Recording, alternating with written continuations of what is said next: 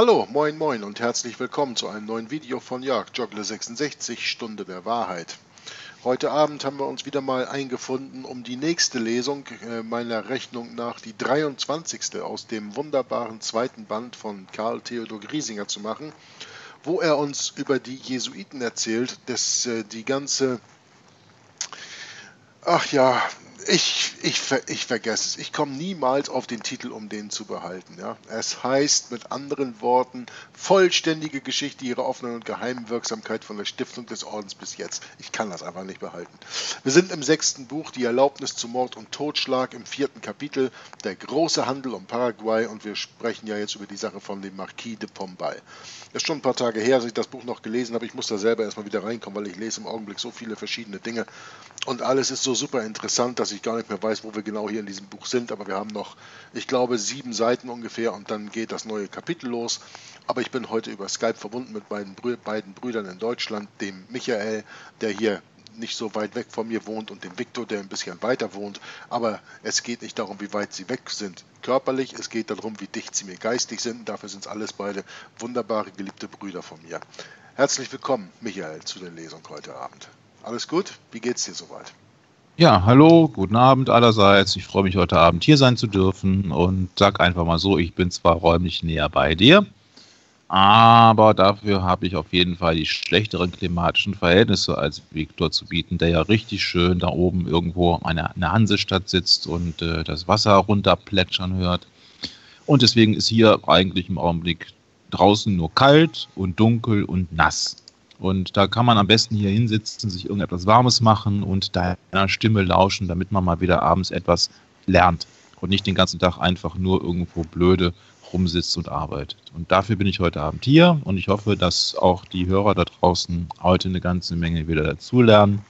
Nicht nur über Paraguay und Portugal, sondern halt über sonstige Tricks und Finessen, denn man kann die andere Seite viel besser einsortieren, wenn man halt einfach ihre Tricks versteht. Und dann gebe ich jetzt ab in die schöne Hansestadt Hamburg zum Viktor. Ja, hallo, moin, moin. Und äh, ja, vielen Dank, dass ich auch wieder dabei sein darf. Ähm, es ist in der Tat heute sehr warm gewesen, muss ich auch sagen. Also überraschend, dann hat sich hier irgendwie wohl so ein äh, Korridor gebildet, das etwas mehr, ja, mildere Luft hier offenbar vorbeigezogen ist oder vorbeizieht gerade. Ja, nichtsdestotrotz freue ich mich auch dann jetzt mit euch die Lesung zu beginnen und bin gespannt, was uns der Autor zu offenbaren hat. Ja, bei uns ist es heute hier eher kühl. Also wenn das bei euch so schön warm ist in Hamburg, dann beneide ich euch da beinahe ein wenig von. Gut, wir lesen also weiter über die Geschichte des Marquis de Pombal äh, hier in äh, Portugal Ganz interessant, was wir bis jetzt ja gelesen hatten. Ich nehme auch gleich mal das richtige Bild hier von ihm damit bei, dass wir das hier bei haben. Wir sind auf Seite 271 in dem PDF und lesen dort dann jetzt weiter. Elf der Beschuldigten oder der Schuldigsten unter den Jesuiten saßen, wie wir gesehen haben, seit dem 12. Januar 1759 wohl verwahrt im Gefängnisse. Die übrigen waren in ihre Häuser interniert und wurden von Soldaten bewacht. Allein hierbei konnte Pombal natürlich nicht stehen bleiben, indem halbe Maßregeln noch nie etwas taugten. Und ganz sicher nicht gegen die Jesuiten. Somit erschien sechs Tage nach ihrer Verhaftung ein königliches Edikt, welches befahl, alle beweglichen und unbeweglichen Güter der Söhne Loyolas, alle ihre Renten, Einkünfte und Gnadengehalte mit Beschlag zu belegen und alle Verbindung dieser Ordensleute mit den Einwohnern Portugals aufzuheben. Dieses Edikt wurde mit aller Strenge durchgeführt und trug dem Staate schwer Geld ein. Man fand nämlich nur allein in den Missionskassen des Hofspitiums zum heiligen Franz Borgia so viel Barschaft, also Bargeld, dass man zu ihrer Fortschaffung 15 Tage Zeit brauchte. Und wenn auch in den übrigen Jesuitenhäusern die Geldvorräte minder bedeutend ausfielen, als man gehofft hatte, so fand man dagegen in den Magazinen eine solche Masse von Zucker, Kakao, Vanille und anderen Artikeln, dass die Versteigerung derselben ganze Wochen in Anspruch nahm. Zu gleicher Zeit mit dem Konfiskations Edikte ließ Pombal in, in einer Schrift, die in Masse unter dem Publikum verbreitet wurde, die gottlosen und aufrührerischen Irrtümer enthüllen, welche die Jesuiten den hingerichteten Missetätern beigebracht hatten, und verlangte von der hohen Geistlichkeit Portugals, dass sie ihn in seinem Verfahren gegen den Orden Jesu unterstützen sollen. Die sämtlichen Bischöfe des Landes entsprachen seinem Ansinnen, und da viele derselben eigene Hirtenbriefe erließen, in welchen sie das bisherige ebenso schädliche als schändliche Treiben der Sünde Loyolas mit derben Worten auseinandersetzten, so fing auch das niedere Volk nach und nach an, von seiner ihm immer noch anklebenden Verehrung gegen die Sozietät Jesu abzulassen. Endlich, nachdem auch dieser Zweck erreicht war, wandte sich die portugiesische Regierung an den Papst zu Rom damit auch dieser als der oberste Richter und Regent über die gesamte katholische Geistlichkeit der Welt seine Zustimmung zu den bisher getroffenen sowie zu den ferner noch zutreffenden Maßregeln gebe. Das betreffende Schreiben ging unterm 20. April 1759 an ihn ab und Pombal gab seiner Heiligkeit darin zu verstehen, dass sein König und Herr gesonnen sei, sämtliche Jesuiten aus seinem Staat zu entfernen, indem keine Hoffnung mehr übrig bleibe, durch gelindere Mittel sich vor ihren Ränken und Machtstellungen zu bewahren. Natürlich aber tat dies Pombal nicht, ohne der römischen Kurie, also der Kardinalsversammlung, in einer beigelegten, sehr umfangreichen Denkschrift den Beweis von jenen Ränken und Nachstellungen zu liefern. Er tat es nicht, ohne darzutun, welche verderbliche hochverräterischen Pläne die Söhne Loyolas in Paraguay verfolgt und wie sie den erwiesenen Tatsachen seither nur verwegene Lästerungen entgegengesetzt hätten. Er tat es nicht, ohne die Belege mit einzusenden, dass jene Patres, nachdem sie als Beichtväter vom Hofe entfernt und durch einen Erlass des Patriarchen von Lissabon vom Beicht- und Predigtamt ausgeschlossen worden seien, eine schändliche Verschwörung gegen das Leben des Monarchen anzettelten, durch welche sie eine gewaltsame Änderung in der Regierung Portugals zu ihren Gunsten herbeiführen wollten. Gestützt auf diese letzteren Belege verlangte dann schließlich Pombal ein päpstliches Breve, welches ihn bevollmächtigte, geistliche Personen, welche sich des Hochverrats gegen König und Staat schuldig machten, den weltlichen Tribunalen zu überliefern denn die Söhne Loyolas besaßen nach ihren Statuten die sogenannte Immunitas Ecclesiastica. Ja, das ist die Exemption, also Befreiung ja, oder Befreiung vom gewöhnlichen Gerichtsstande im ausgedehntesten Sinne des Wortes. Und wenn man ihnen daher ohne vorherige päpstliche Bevollmächtigung den Prozess machte, so hätten äh, so hätten, ja, das ist komisches Deutsch hier, aber es wird wohl richtig sein, so hätten können später Einsprachen erhoben werden. Wir würden heute sagen, so hätten später Einsprachen erhoben werden können. Damals hat man die Sätze vielleicht noch ein wenig anders geschrieben. Also ich finde das einen ganz wichtigen Punkt, den wir hier gerade eben besprechen. Die Jesuiten haben eine Immunitas Ecclesiastica, eine kirchliche äh, Immunität. Und das ist im Grunde heute nicht viel anders. Wenn wir uns in der Welt umschauen, überall, wo es Skandale gibt, wo der römisch-katholische Klerus ähm, im Grunde vor Gericht gestellt werden sollte, da ist das auch heute noch sehr schwierig, selbst bei dem ganz normalen Priester. Ich spreche jetzt nicht davon, wenn der zu schnell mit seinem Auto gefahren ist und dann da vielleicht irgendwo vom, vom Richter im Landgericht stehen muss oder sowas. Aber ich spreche zum Beispiel, wenn wir an die ganzen Verfahren denken, die ja gegen Priester eingeleitet werden sollten, wenn sie sich zum Beispiel der Pädophilie oder anderen Kindesmissbrauchs zum Beispiel schuldig machen. Und das fällt mir jetzt gerade eben deswegen so ein, weil ich im Augenblick das Buch lese von ähm, über die Moraltheologie von äh, Alfonso Liguori, das äh, Robert Grassmann im 19. Jahrhundert ins Deutsche übersetzt hat und das ist dann an, am Anfang des 20. Jahrhunderts in Deutschland erschienen ist. Ein ganz grausames Buch, was ich in der Zukunft auch lesen werde. Und wenn man sich dann die Moraltheologie der Jesuiten durchliest, dann äh, sträubt sich einem noch mehr das Rückenhaar auf, wenn man hier liest, dass sie eine Immunität besitzen gegenüber staatlichen Gerichten. Wie kommt so etwas eigentlich geschichtlich zustande? Das ist eine interessante Frage und das ist eigentlich nur damit zu beantworten, dass die römisch-katholische Kirche seit jeher behauptet, dass die geistige Macht über der weltlichen Macht liegt. Die römisch-katholische Kirche hat sich von Anfang an angeeignet, dass sie behauptet, der Nachfolger Petrus zu sein und Petrus hat von Jesus die zwei Schlüssel bekommen. Unter anderem eben ausgelegt als die Schlüssel über die weltliche Macht und die Schlüssel über die spirituelle, die geistige Macht. Und diese geistige Macht liegt über der weltlichen Macht. Und deswegen sagt der Papst, wir sind ja auch vorher schon drauf eingegangen, äh, in den Lesungen von äh, Romanismus und die Reformation, ja, da hatten wir die äh, Dekretale von Isidor gelesen und wir hatten von der Schenkung von Konstantin gehört. Diese gefälschten Papiere sind an der Basis dessen, dass der Papst die geistliche und die weltliche Macht in dieser Welt usurpiert, ja, aufsaugt, in, in sich selbst anmaßt.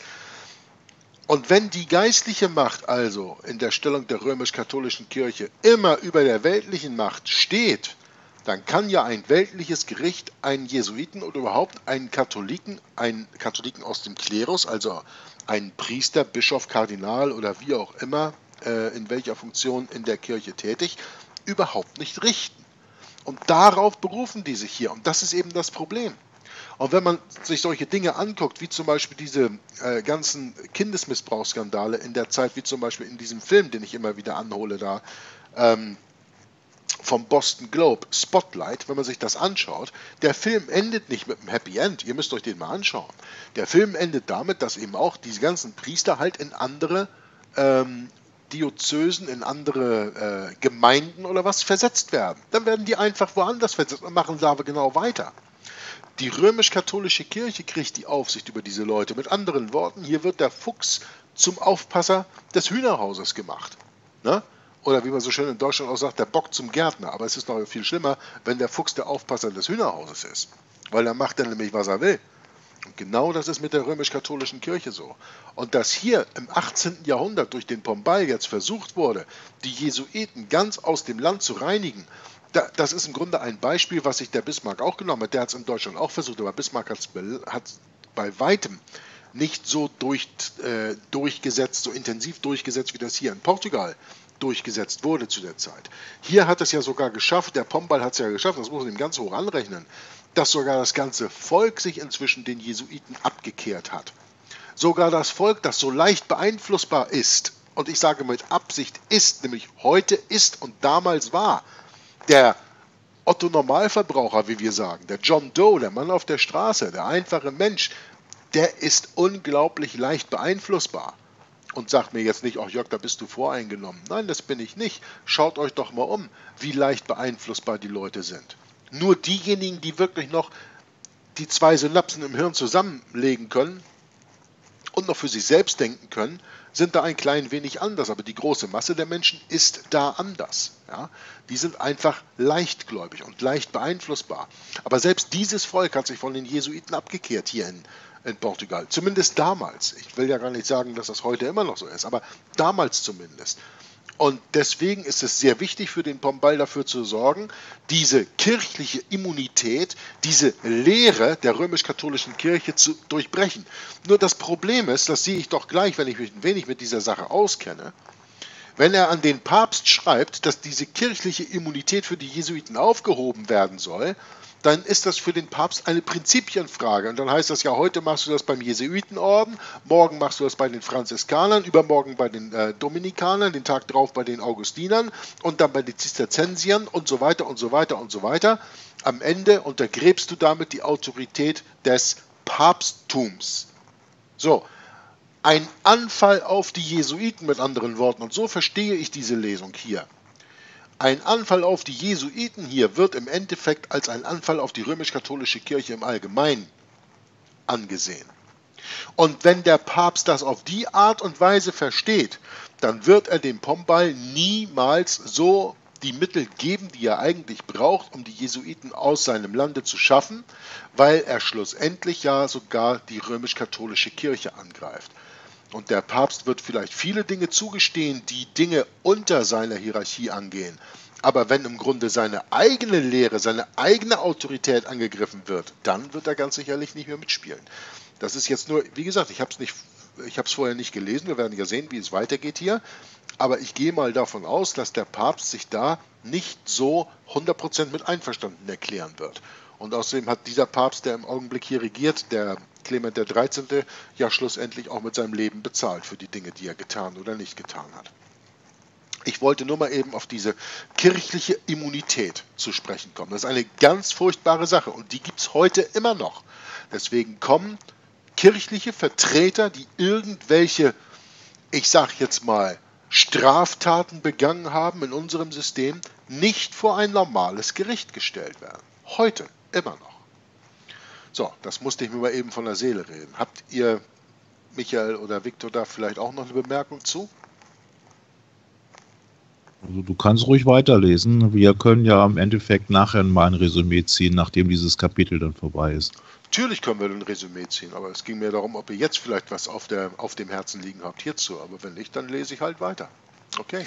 Also mir ist auch aufgefallen, wie du sagtest, äh, so eine gewisse Art Kulturkampf in Portugal, ne? Wenn man das so ja. äh, den, diesen, ja, den Informationen jetzt, die man jetzt in, äh, aus dem Buch jetzt rausliest, äh, klingt das ähnlich, wie du auch sagtest, so mit äh, Bismarck, nur eventuell war es sicherlich bei zu Zeiten von Bismarck nicht so intensiv.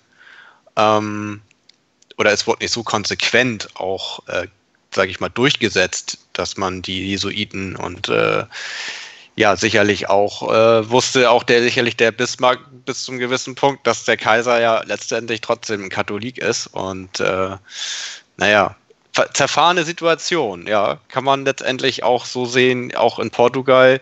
Ähm, wie du sagtest, auch, wir haben ja auch heute noch diese Situation, dass letztendlich ja diese Puppen des Vatikans, die in den, sage ich mal, die Statthalter, die in den jeweiligen Ländern, Nationen äh, eingesetzt werden, ja auch eine gewisse Immunität ja haben. Ne? Also, das ist ja mein Reden, was ich gerade sagte. Ja, wenn du einen Priester oder äh, sonst irgendeinen äh, wegen irgendwelcher Vergehen anklagen kannst, dass du ihn vor weltliche Gerichte gar nicht schleppen kannst. Ja, das ist diese Immunität, ja. Ja, und die, das ist ja selbst, aber ich meine jetzt sogar, dass das teilweise sogar noch bis in die, ja, ich sag mal, diese, diese, ich will jetzt nicht sagen, Demo, ja, Demokraten letztendlich kann man ja sagen, ne? Dass die ja irgendwo ab einem gewissen Punkt ja auch eine Immunität ähm, genießen, ne?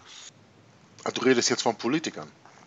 Ja, genau. Ja, das ist ja wieder noch eine andere Sache, dass die irgendwelche, also Diplomaten, Politiker und solche, dass die auch eine gewisse Immunität äh, besitzen. Das, das ist richtig. Aber die kirchliche Immunität ist ja im Grunde noch viel schlimmer, weil wir ja sehen, wie durchtrieben die Kirche ist. Und wir dürfen ja einen Punkt ähm, sollten wir, glaube ich, Viktor nie aus dem Auge verlieren. Die Politiker oder die Menschen, die die Politiker spielen, sind ja im Grunde auch nur der Kirche untergeschickt. Die Kirche regiert darüber. Eben, das meine ich ja. Das sind ja die Puppen, die, an denen sie die Fäden ziehen. Genau.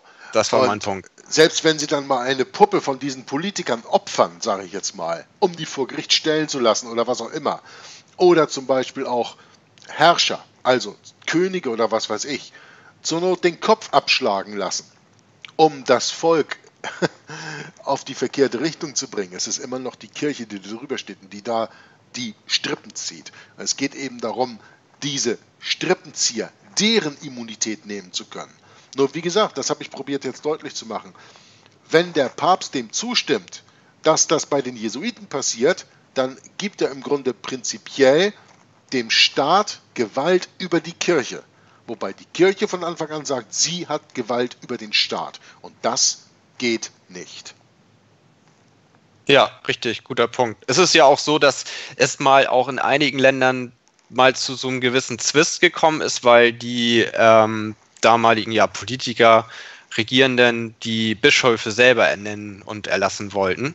Und da dann natürlich sofort der Vatikan interveniert und sagt, nee, nee, das ist hier unsere Aufgabe. Ne? In, in geistliche Dinge habt ihr euch überhaupt hier gar nicht einzumischen. Aus Welt, also, ne? Und dass man sozusagen immer auch diese obere äh, ja, wie soll man das nennen?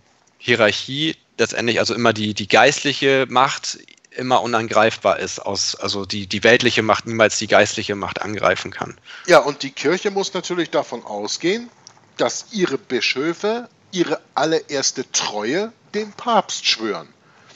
Wenn aber jetzt ein Bischof nicht vom Papst oder von der Kurie eingesetzt ist, der römisch-katholischen Kirche, sondern von dem Premierminister, König oder äh, Präsidenten eines Staates, wem schwört der denn dann seine erste Treue? Immer doch denjenigen, den er ein, der ihm eingesetzt hat, nicht wahr? Und das ist der Punkt, weshalb die römisch-katholische Kirche da so, ja, ich will beinahe sagen, extrem äh, darauf reagiert, wie heutzutage, in der Zeit, in der wir heute leben, haben wir das ja zum Beispiel zuletzt in China gesehen, wo sich der chinesische Staat erlaubt hat, eigene Bischöfe einzusetzen. Und wenn wir in die deutsche Geschichte zurückgehen, dann ist das König Henrich IV., der Gang nach Canossa. Ne? Er musste den Gang nach Canossa machen, eben weil er seine eigenen Bischöfe eingesetzt hat und nicht die Bischöfe des Papstes akzeptiert hat. Das kann natürlich eine römisch-katholische Hierarchie nicht durchgehen lassen, weil wenn die Leute nicht von ihr, von der Kirche eingesetzt sind, dann schwören sie ihre Treue ja auch nicht dem Papst. Und das ist ja im Grunde eben immer das Problem. Diese Leute haben eine Machtfunktion innerhalb eines Landes, Deutschland, Portugal, wo auch immer jetzt, welches Land wir darüber sprechen, oder China. Sie haben eine Machtposition und diese Macht müssen sie gebrauchen, um eine bestimmte Agenda zu verfolgen.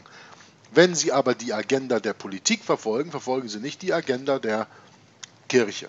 Zumindest in der Zeit damals, wo einige Herrscher anscheinend ja noch sich von der Kirche mehr oder weniger losgesagt haben, obwohl die Bibel ja deutlich sagt in Offenbarung Kapitel 17, dass die Könige der Welt Unzucht mit der Hure getrieben haben. Aber das heißt ja nicht, dass alle Könige zu allen Zeiten 100% Unzucht mit ihr getrieben haben. Es gibt da genau solche, die weggefallen sind, wie es auch in der römisch-katholischen Kirche heute gottesgläubige, wahre Christen gibt, die nur betrogen sind und da eben rauskommen sollen. Ein interessantes Thema, da kann man fast eine ganze eigene Sendung drüber machen. Ne? Ja, definitiv. Ich finde auch, wenn man jetzt nochmal so aus Sicht der Bibel auch das sicherlich nochmal so sich betrachtet, dass natürlich niemand, kein Mensch einen gewissen noch Sonderstatus oder eine Immunität äh, inne hat, sage ich mal, vom Schöpfer aus gesehen. Also letztendlich sind wir Menschen alle gleich und da gibt es keinen Sonderstatus für irgendjemanden. Und ich denke, der Punkt, den du auch eingeholt hast mit gerade diesen Kinder Kindesmissbrauchsskandalen von der römisch-katholischen Kirche und ihren Priestern äh, oder auch den Nonnen, dass sicherlich das auch dann Symptome sind und Auswirkungen dessen, dass diese Menschen diese von ihnen oder vom Papst übertragene Immunität dann auch so ausleben, ja, dass das letztendlich äh, ja, zu Übel und Abgründen führt. Hm. Ja, und um noch auf die Bibel zurückzukommen, die du gerade so schön angeführt hast, in der Bibel steht drin, dass der Gott, der, äh, unser Schöpfergott, eine Person oder die Person nicht respektiert. Ne? Genauso wie du meintest, vor Gott müssen wir alle vor dem Gericht dann stehen. Ne? Ja. ja. Gut, dann fahren wir nochmal fort.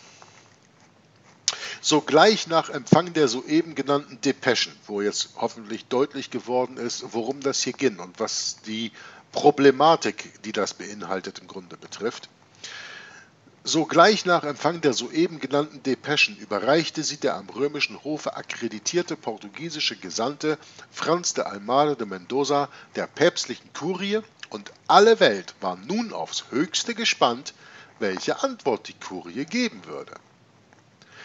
Besser in die Verhältnisse Eingeweihte konnten sich schon im Voraus denken, was folgen müsse, weil sie wussten, welch schwacher Mann Papst Clemens XIII. war und wie er sich in allem vom Kardinalstaatssekretär Torrigiani, dem nahen Verwandten des Jesuitengenerals Ricci, beherrschen ließ.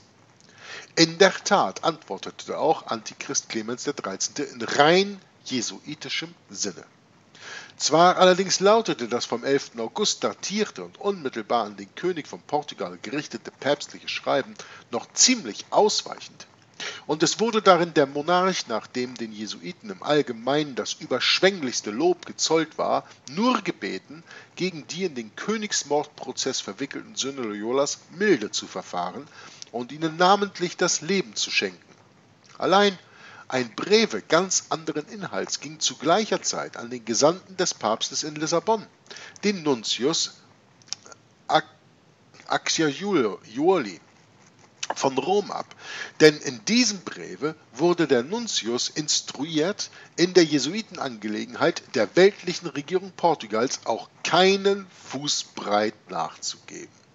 Da bestätigt sich das, was ich gerade eben bereits angenommen habe. Ne?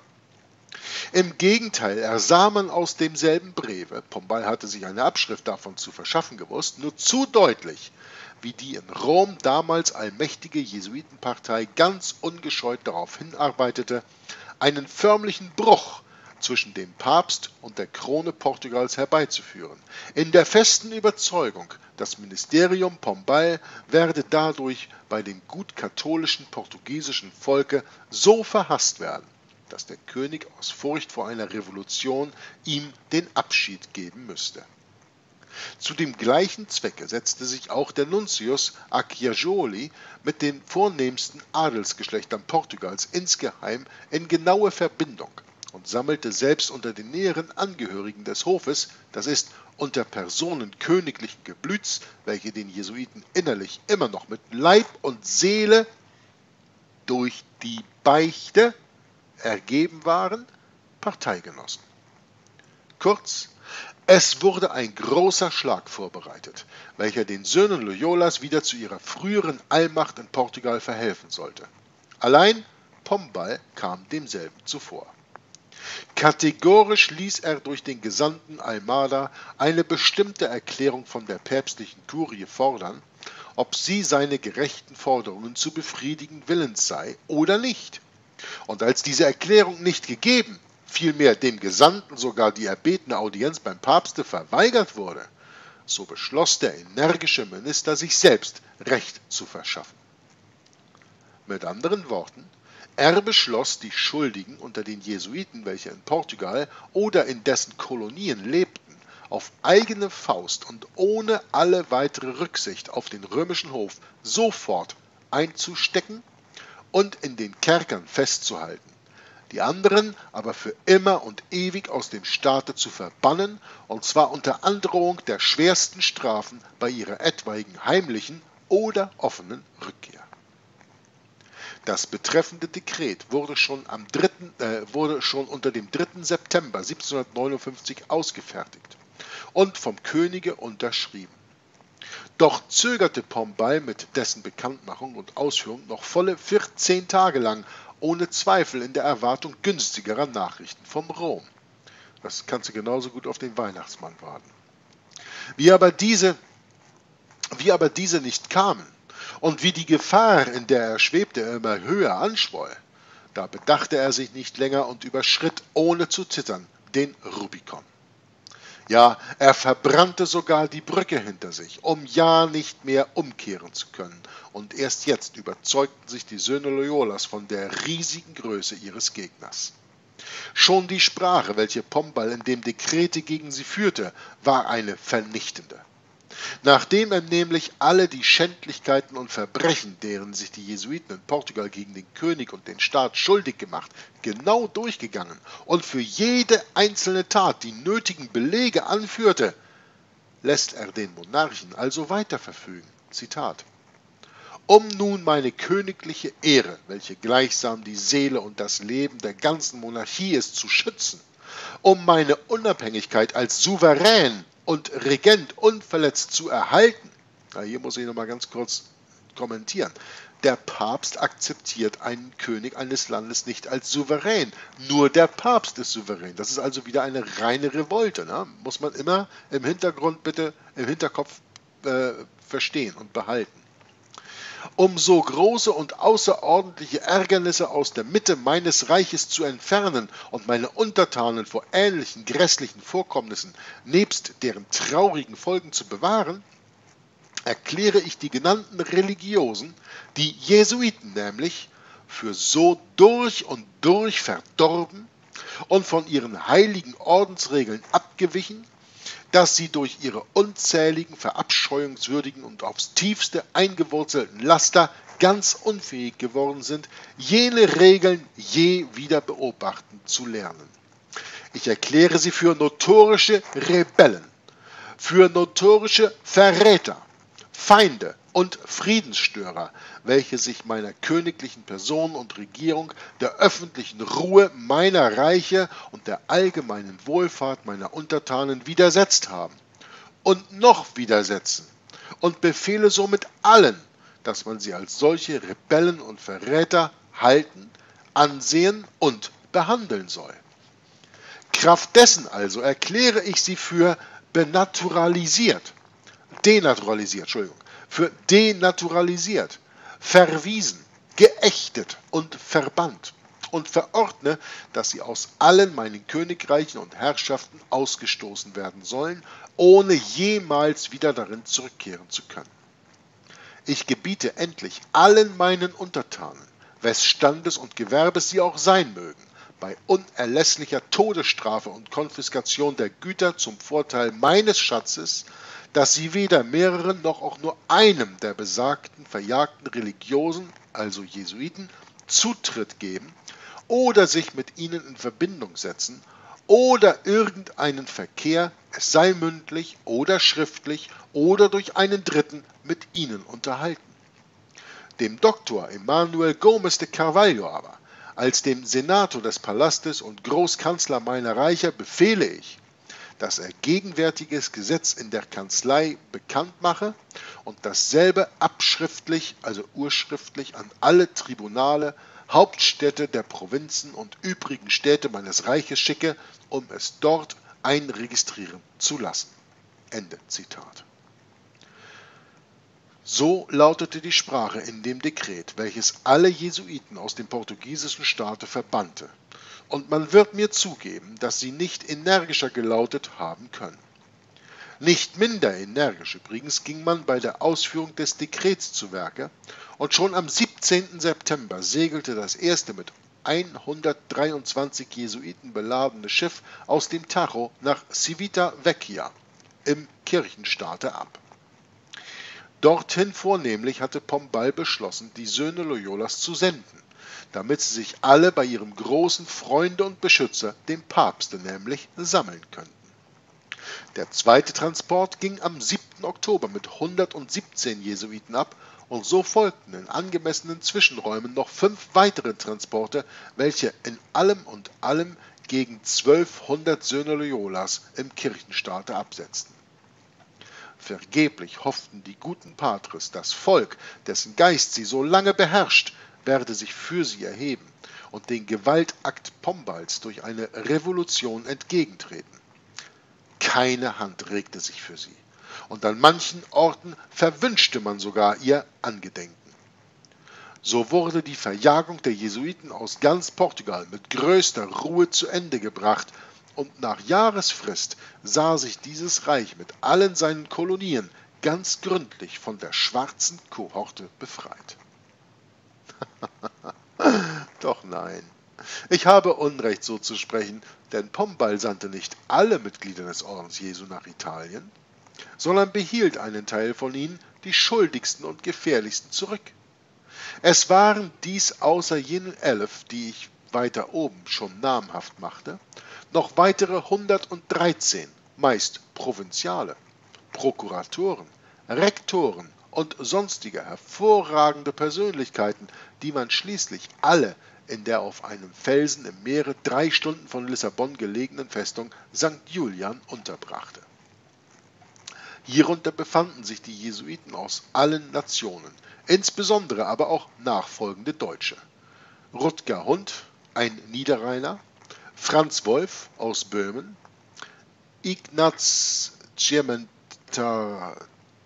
Ciementaroni, Österreicher, Martin Schwarz, Oberdeutscher, Josef Kühling, Österreicher, Moritz Thoma, Augsburger, Jakob Müller, Niederrheiner, Jakob Delfahrt, Elsässer, Lorenz Kaulen, Niederrheiner, Anton Münsterburg und Anselm Eckart, beide vom Oberrhein, Johann Koffler von Prag, Jakob Graf Niederrheiner, Johann Brauer Westfäler und Matthias Piller ein Österreicher bei Namen. Dort starben, also auf diesen Felsen, dort starben in der Zeit von 1759 bis 1777 ihrer 39, jedoch meist in hohem Alter.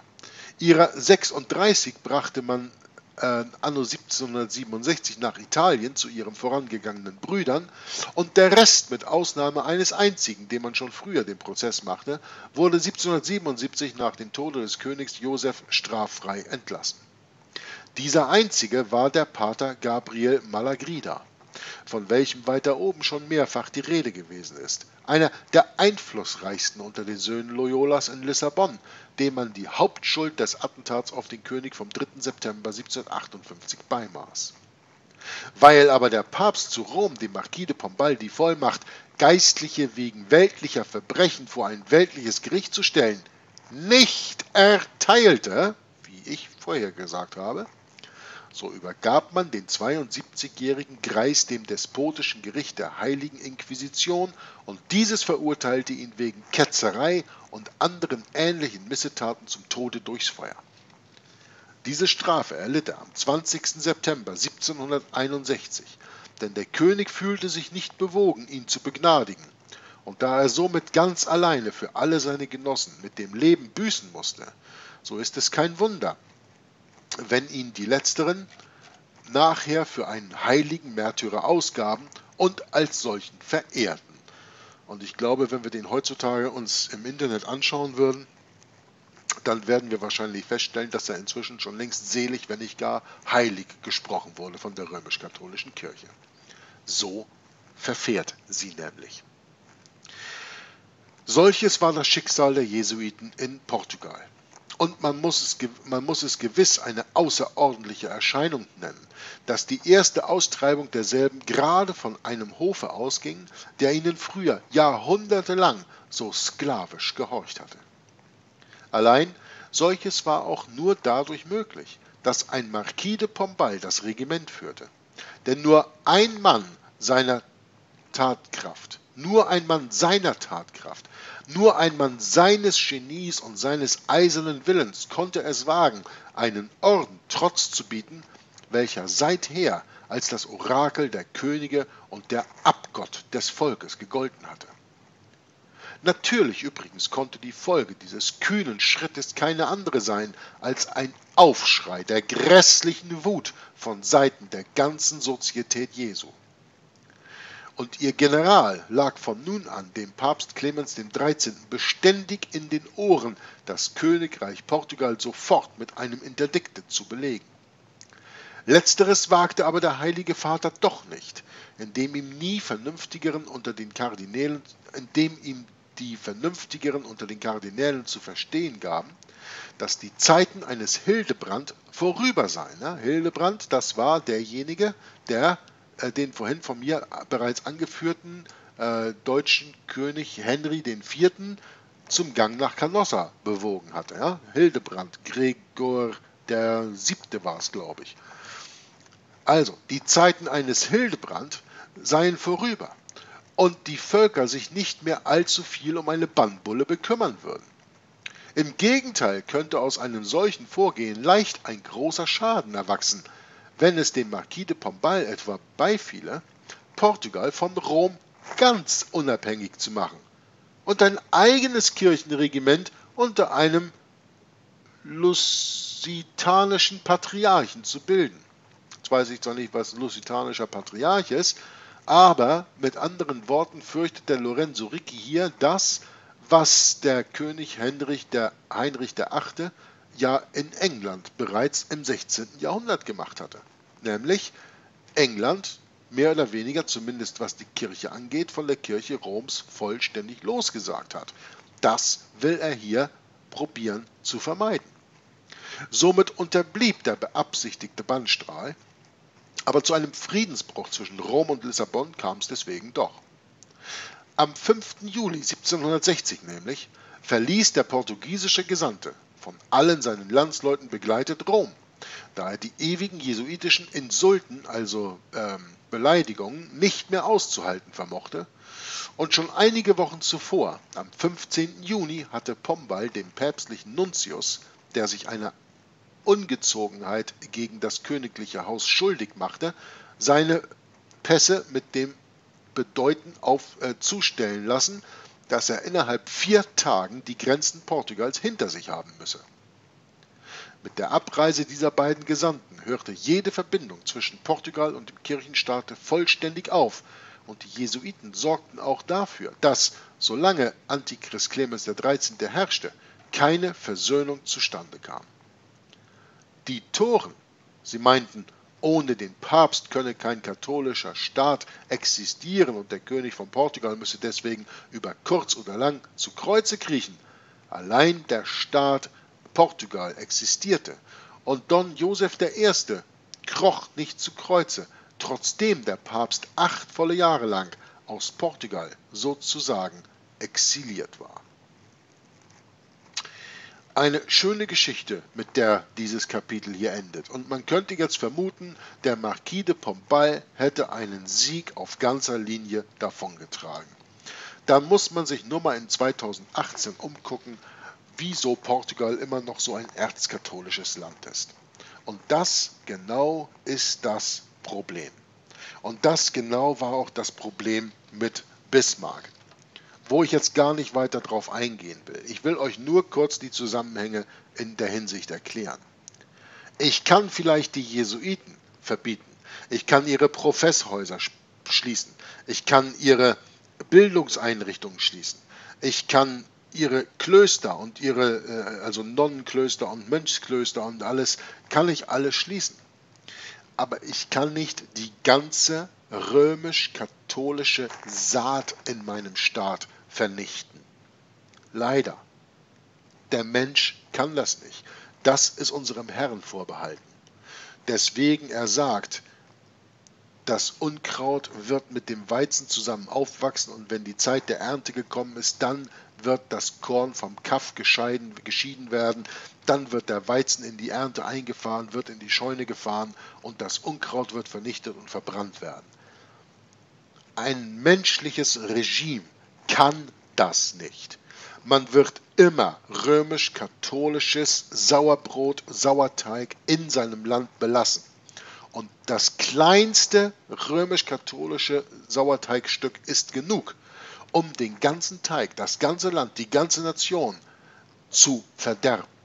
Das beste Beispiel dafür ist, dass in den Vereinigten Staaten von Amerika zur Zeit der Gründung dieses, dieser Nation 1776, halt mit der Unabhängigkeitserklärung oder halt mit der Gründung des Staates 1789, wie ihr auch wollt, knapp etwas weniger als 2% der zweieinhalb Millionen Bevölkerung dieser Nation katholisch waren.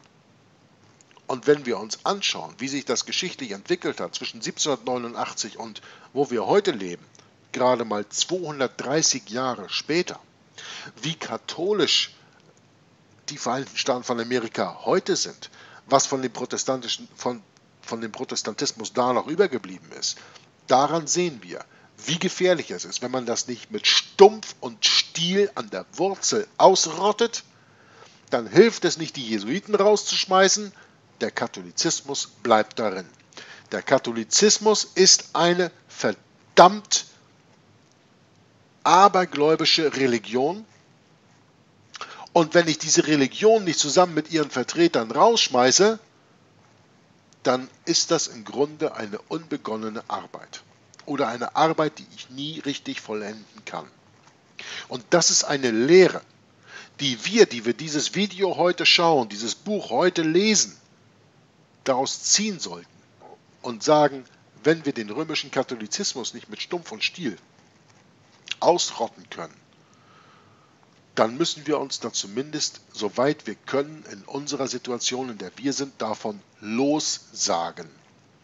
Und das kann ich vor allen Dingen darin machen, indem ich dafür sorge, dass ich in dieser Welt keine Wurzeln mehr habe, sondern dass ich meine Wurzeln schlage im Königreich Gottes. Das, ich weiß es, im Augenblick noch zwischen Anführungszeichen Theorie ist. Dass ein geistliches Königreich ist. Es ist sich nicht auf, die, auf dieser Erde manifestiert. Aber ich muss dafür sorgen, dass ich hier meine Wurzeln in diesem antichristlichen System so wenig wie möglich schlage, sondern meine geistigen Wurzeln schlage. Genau wie in der Bibel geschrieben steht, da wo euer Schatz ist, da soll euer Herz auch sein. Jetzt habe ich hier genug gesagt, jetzt möchte ich das Wort gerne an Michael lassen, weil ich glaube, der hat sich schon inzwischen einen ganzen Aufsatz an Kommentar geschrieben, was er jetzt gerne zum Ende dieses Videos äh, noch uns zukund tun möchte. Bitte schön, Bruder. Ja, vielen Dank für die Lesung und vielen Dank für den interessanten Einblick in die Geschichte des äh, doch schönen Staates Portugal. Wir, ich habe die ganze Zeit überlegt, ähm, was ich denn jetzt zum Besten gebe. Mir fällt jetzt nicht der große Umhang ein, aber im Endeffekt finde ich es doch sehr interessant, dass diese ganze Geschichte noch so lange gar nicht hier ist dass sich jemand tatsächlich äh, geleistet hat, da äh, klare Kante zu zeigen. Und wenn ich mir halt einfach schaue, mit welchem Eifer da auch die Bevölkerung hinterher war, kann ich es mir nur so erklären, dass zu der damaligen Zeit ähm, der Glaube eine weit größere Rolle gespielt hat als in heutigen Zeiten. Und das finde ja. ich halt einfach sehr, sehr, sehr interessant. Ähm, ich denke, wir würden heutzutage, selbst bei, selbst wenn die Leute um das Thema wüssten und denen es bekannt wäre, ähm, einfach die Massen nicht mehr zusammen haben, weil für die Religion halt nur noch eine, eine lästige Pflichterfüllung ist und äh, der einzige Vorteil für die meisten darin liegt, irgendwelche ähm, Feiertage zu haben, wo sie ausschlafen und können und Party feiern dürfen. Ich will und, dich jetzt nicht unterbrechen, Michael, aber gestatte mir eben zwei Dinge. Erstens möchte ich Viktor fragen, wenn er was zu sagen hat, hier gleich gleich mit reinzukommen, anstatt nachher zu warten, dass du nachher zum Schluss was machen kannst. Wir können hier gerne mit drei Leuten diskutieren.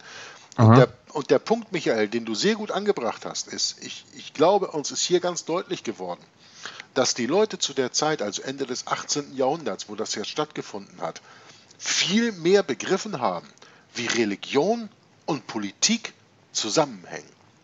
Diese Zusammenhänge sind den meisten, Leute, den meisten Leuten heute überhaupt nicht bewusst.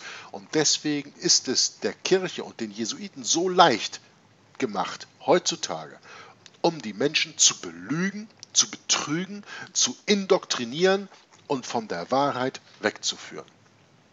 Stimmst du dem zu? Oder stimmt ihr dem zu, um Viktor damit einzubeschließen, bitte? Ja, also ich stimme denen auf jeden Fall auch zu.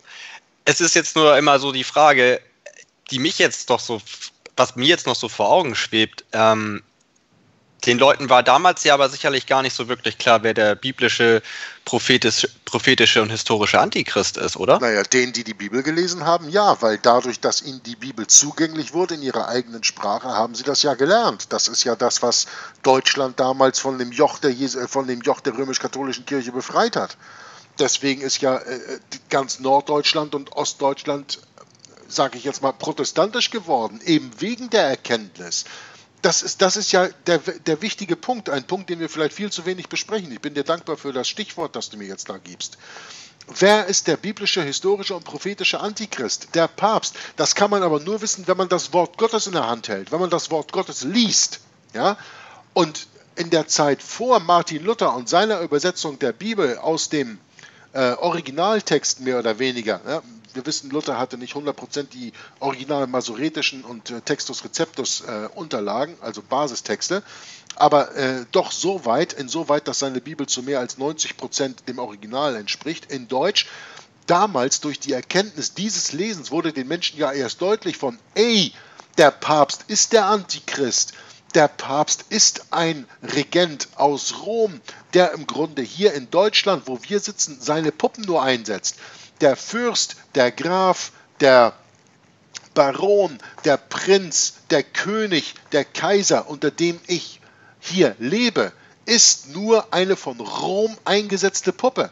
Das versteht man aber erst, wenn man die Bibel in seiner eigenen Sprache zur Verfügung hat. Und das dunkle Zeitalter, die 1260 Jahre des Regieren des Antichristen, hat sich ja vor allen Dingen dadurch gekennmerkt, dass es die Bibel in der eigenen Sprache nicht gab. So, davon müssen wir jetzt mal ein Ding verstehen. Die meisten Leute konnten überhaupt nicht lesen in der normalen Bevölkerung, weil es gab keine allgemeine Schulpflicht. Die Leute gingen nicht zur Schule. Wer Bildung haben wollte, der musste in die Kirche eintreten. Nur durch die Kirche gab es damals Ausbildung überhaupt. Ja? Wenn man also nicht irgendwie, ich sage jetzt mal von Adel war, also sowieso der Kirche schon immer gedient hat, weil der ganze Adel kommt ja nur daher her, dass sie sich dem dass sie dem Papst gedient haben und die wurden dann mit Ländereien und Titeln belohnt, als sie dann aus ihren äh, Kriegen zurückgekehrt sind. Wenn man also nicht von diesem Adelstand war oder nicht in die Kirche eingetreten war, hatte man überhaupt gar keine Bildung. So, dann konnte man gar nicht lesen. Dann gingen die Leute am Sonntag in die Kirche, weil wenn du am Sonntag nicht in die Kirche gingst, dann stand am Montag der Soldat vor der Tür und sagte, warum warst du denn am Sonntag nicht da? Deswegen wird ja heute so viel vor dem kommenden Sonntagsgesetz gewarnt, was wieder genau das gleiche ist wie damals. Man musste in die Kirche gehen und in der Kirche wurde dann aus der Bibel gelehrt, zwischen Anführungszeichen, ja, aus der Bibel gelehrt, aber die Messe war in Lateinisch. Das verstand der normale Bauer überhaupt nicht. Die bekamen eine Lehre in einer Sprache, die sie nicht verstanden, aus einer Bibel, die nicht korrekt war und so weiter und so weiter. So waren die Leute betrogen. Aber dadurch, dass dann die Reformation eingesetzt hat, erst in England mit, ähm, wie heißt er wieder, Wycliffe im 14. Jahrhundert und dann weiter mit Tyndale im 16. Jahrhundert, Martin Luther im 16. Jahrhundert, Calvin im 16. Jahrhundert, die die Bibel dann übersetzt haben und aus Deutschland und England heraus in ganz Europa verteilt haben und die Leute die Möglichkeit hatten, das Wort Gottes das erste Mal in ihrer eigenen Sprache zu lesen und zu verstehen, weil natürlich dadurch, dass diese Bücher jetzt da auf den Markt kamen, auch die Ausbildung damit äh, mit beikam. Auf einmal wurden ja Schulen gegründet, weil Leute, die gebildet waren, anderen Leuten, die ungebildet waren, die Möglichkeit gaben, etwas beizubringen. So ist ja überhaupt das ganze Schulsystem, das unabhängige Schulsystem entstanden, das dann leider nur wenige Jahre gedauert hat, weil schließlich kamen dann die Jesuiten 1700, äh, 1540 auf den Markt, um das mal so auszudrücken, die dann sehr schnell ihre Methode des Lernens gegen das Lernen eingeführt haben, weil die ja merkten, wenn die Leute in Institutionen sind, wo das passierte, was Martin Luther gesagt hat, dass wir uns selber und unsere Kinder tagtäglich in der Schrift unterrichten müssen, als sie merken, dass das passiert ist, haben sie gesagt, wir müssen alles dafür tun, um die Leute von der Schrift eben wegzubringen. Das Lernen gegen das Lernen durch das Ratio Studiorum, das bereits so viel besprochen gewesen ist. Ja? Also der der Punkt ganz wichtig ist, die Leute haben damals erkannt, dass der Papst der Antichrist ist, weil sie die Bibel in der Hand hatten und weil sie verstanden hatten, wer ihr Unterdrücker ist. Aber heute leben wir in einer Welt, in der uns überhaupt nicht mehr deutlich gemacht wird, dass wir überhaupt unterdrückt sind, dass wir überhaupt Sklaven sind. Wenn ich nicht irgendwann mal anfange, für mich selbst zu denken, kriege ich das überhaupt nicht mit, dann bin ich mein ganzes Leben lang glücklicher Sklave vielleicht hier und da unglücklich, weil ich vielleicht zu viel Steuern bezahlen muss oder zu viel dies oder zu viel das oder hier und da zwickt es doch ein bisschen, aber im Großen und Ganzen, ach, da kann man ja mit leben. Ich kann ja Kompromisse machen. Ja? Und die Leute damals haben eingesehen, dass das Papsttum der Antichrist ist, darf man nicht vergessen, es gibt eine auf masoretischem und Textus Receptus basierte spanische Bibel. Portugiesisch ist nicht Spanisch, aber ich glaube schon, dass es die entweder in Portugal auch gab oder aber, dass die zumindest Zugang hatten zu der spanischen Bibel und dann das Spanische halt haben lesen können. Es gibt die spanische Bibel, es gibt die in Französisch, es gibt die in Niederländisch, es gibt die in Deutsch, es gibt die in Englisch. Damals zu der Zeit zumindest, die Leute wussten, wer der Antichrist ist. Heutzutage wissen sie es nicht. Warum? A, weil sie ihre Bibel nicht mehr lesen. B, weil die meisten Bibeln, die sie lesen, korrupte Bibeln sind. Und natürlich auch, ja, weil es die Leute nicht mehr interessiert. Ja? Aber bitte, ich wollte nicht so einen langen Monolog machen. Außerdem wollte ich Michael nicht unterbrechen, der war immer noch in seinem Fluss. Ich wollte nur sagen von, ähm, Viktor, bezieh dich bitte in diese Diskussion mit ein, anstatt zu warten, dass ich nachher sage, so, jetzt kannst du was sagen, lass uns hier zu dritt drüber diskutieren. Derjenige, der was zu sagen hat oder zu fragen hat, bitte. Ich habe den Faden jetzt ein bisschen verloren. Ich muss ihn gerade mal suchen. Entschuldigung. Alles ist gut. Ist ja kein Ding. Ähm, ja, klar, aber ich meine, damals war halt einfach Buchlesen dann schon on vogue und heutzutage ist Buchlesen halt einfach äh, nur was für Opis und für Uncoole. Und ich, ich denke mal, da ist halt ein Wandel in den Generationen und ich sehe halt einfach immer diese große, große Fragezeichen. Für die Leute ist halt alles so unheimlich weit weg. Wenn wir schauen, dass wir hier in der Bundesrepublik Deutschland hier seit etwas mehr als 70 Jahren den sogenannten Frieden haben, der da machen die Leute es sich einfach ähm, unheimlich äh, schwer zu überlegen, äh, dass also alles irgendwo aufgrund von irgendwelchen anderen Sachen aus der Vergangenheit resultiert. Ne? Wer die Geschichte nicht begreift, der ist halt gezwungen unter verdammt, sie zu wiederholen. Und das ist auch gerade mal alles hier in, in, in Portugal äh, 250 Jahre und Pi mal Daumen her, ist eigentlich gar nicht so, so lange und ähm, ist aber für die Leute dann doch unendlich weit weg, weil heutzutage das Leben immer exponentieller, schneller und schneller und schneller läuft und immer, immer schneller wird und durch Digitaltechnik, die Leute kommen gar nicht mehr hinterher, für die Leute halt alles wie aus einem anderen Jahrtausend wirkt.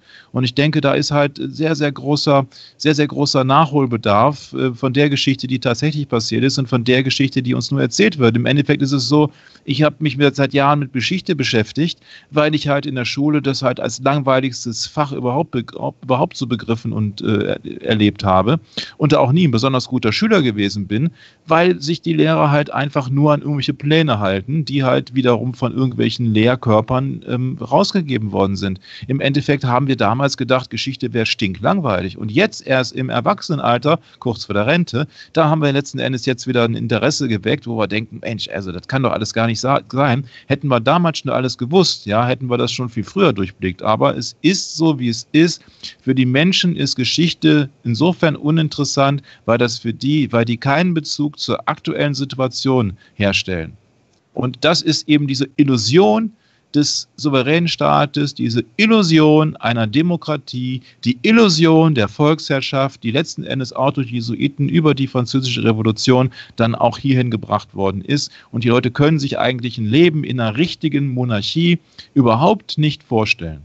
Und die einzige Staatsform, die mir vorschwebt, wo ich mich wohlfühle, ist eine Monarchie. Und da ist halt einfach mein König Jesus Christus. Amen.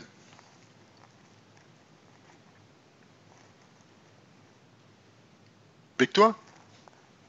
Ja, den schließe ich mich an. Ähm, ich denke, die Lesung hat nochmal ganz gut so aufgezeigt, dass es aus weltlicher Sicht nichts ne, wirklich nützt, weil wir sehen ja die Metamorphose. Also eins war Portugal von, ja, da hat, dort haben die Jesuiten dann äh, freie Hand gehabt, dann wurden sie rausgeschmissen und jetzt haben sie jetzt endlich ja wieder freie Hand. Ähm, eben deswegen habe ich den Punkt gemacht, Entschuldige, die hier eben zu unterbrechen. Ja, nee, deswegen ist richtig auch der Punkt, dass du sagtest, von was Martin Luther damals ja schon damals vor 500 Jahren sagte, im Grunde genommen, dass wenn wir nicht dafür Sorge tragen, dass die ab, unsere Abkömmlinge, Nachkommen täglich im Evangelium unterrichtet werden, dass dann nämlich die Schulen äh, zu geöffneten Pforten der, der Hölle werden. Und das können wir jetzt ja auch, denke ich, ganz gut daran erkennen, halt an dieser Metamorphose. Das ist der eine Punkt. Der andere Punkt war, dass man eben den ganzen römischen Sauerteig aus dem Land rausschmeißen muss. Es hilft nicht nur, die Jesuiten rauszuschmeißen und den Rest der römisch-katholischen Hierarchie zu belassen. Und das ist der Fehler, den jedes Land damals gemacht hat. Deswegen sind die Jesuiten immer wieder gekommen. Ja, das ist der Punkt, den ich probiert habe deutlich zu machen. Wenn ich nicht den Katholizismus mit Stumpf und Stiel aus meiner Nation ausrotte, wovon die Jesuiten ja nur ein Teil sind, ich muss den ganzen Katholizismus ausrotten, dann hole ich sie mir immer wieder rein. Das ist wie wenn einer Krebs hat und das hat überall seine Metastasen gebildet und ich nehme dann eine Metastase und operiere die raus, aber den Rest lasse ich drin, dann ändere ich doch nichts an der Gesamtsituation. Ja, genau eben. So und muss man sich das vorstellen. Genau, und du musst gleichzeitig dem Patienten dann auch das richtige Rezept in die Hand geben, damit der Krebs nie wieder aufkeimt. Und das ist dann halt in dem Fall die Bibel. Und deswegen war es ja auch so wichtig, dass damals ja schon auch, ich sag mal, von den Reformatoren auch gleich das ähm, ja so, so hervorgehoben wurde, dass das täglich äh, gelehrt werden sollte damit es eben nicht zur Bildung von Metastasen von Krebs kommt. Richtig. Ja, ich denke, das hat das, glaube ich, heute die Lesung nochmal ganz gut aufgezeigt. Also wir können Petitionen machen, wir könnten was auch immer Unternehmen, Jesuiten verbieten oder ne. Es, es müssen zwei Dinge geschehen, was du sagtest. Zu einem muss die Wurzel muss komplett einmal entfernt werden und zum anderen müssen den Abkömmlingen muss das klar gemacht werden, dass, äh, dass es nicht wieder erneut zu so einem Befall kommt, sage ich jetzt mal. Ja, Es gab mal einen sehr klugen Mann, der hat mal gesagt, dass die folgende Generation immer wieder die Freiheit verteidigen muss, die ihre Väter davor errungen haben. Und wenn das nicht passiert, dann werden diese Freiheiten wieder verloren gehen. Und ich denke, wenn man dem Geschichtsverständnis, was man unter anderem auf meinem Videokanal bekommen kann, durch diese verschiedenen Lesungen und ähm, verschiedenen Geschichtsstunden im Grunde bekommt, wenn man darauf ein bisschen zurückschaut, dann sieht man das immer und immer wieder bestätigt. Jetzt doch mal eben zum Abschluss, mal ganz im Ernst. Deutschland, wollt ihr mich eigentlich verarschen?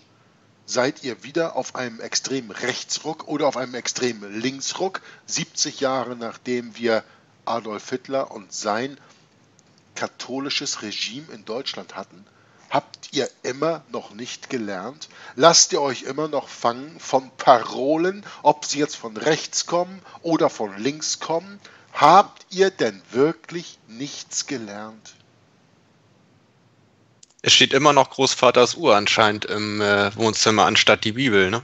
Auf dem Schreibtisch oder auf dem Couchtisch. So scheint es. Das ist ein schöner Satz, um mit abzuschließen, Viktor. Michael, hast du noch ein Schlusswort? Sonst setze ich das hier. Mein Schlusswort war Jesus Christus. Ja, das war ein schönes, das einzige Schlusswort, das zählt. Jesus Christus kann man finden in der Bibel und deswegen schließe ich mit dem Satz, mit dem ich gerne schließe. Lest hauptsächlich erstmal die Bibel, lernt Jesus Christus kennen.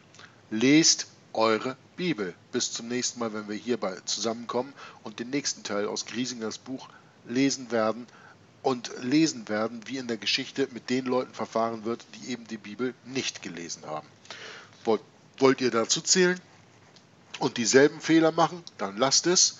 Wollt ihr das nicht, dann lest eure Bibel. Maranatha.